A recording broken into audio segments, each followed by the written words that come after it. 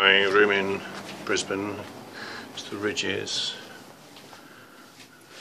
Uh, nice big bed, TV, blah blah.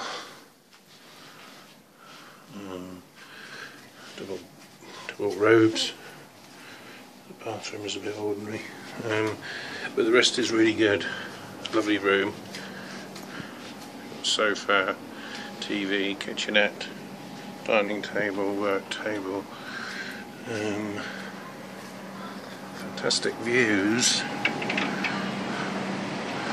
That's the Brisbane skyline.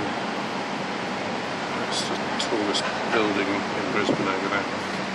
Um, and there's actually two balconies which give pretty similar views really. Not much behind this. Uh, there you go. So, very nice, very nice. That's it, that's it folks.